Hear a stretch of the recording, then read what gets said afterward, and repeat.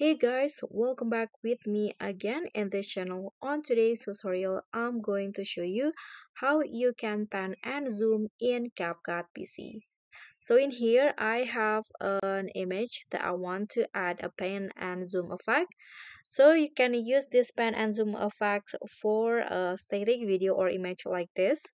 So the first thing that you need to do is add a keyframe at the start of the uh, image so you can add a keyframe in here on the transform under the basic. Let's add a keyframe this one. This uh, diamond shape is a keyframe. So it will turn blue like this. Then you can go to the end of the video or the image.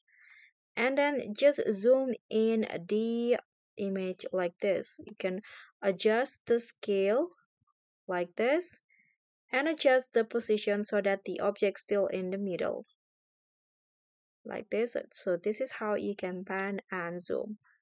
So another keyframe will be automatically created in here.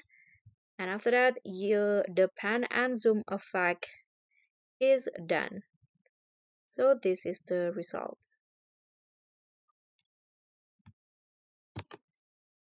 can see the image will be will zoom in automatically like that. So guys that's all from me. Thank you so much for watching. Don't forget to like comment and subscribe. Also click on the thanks. Bye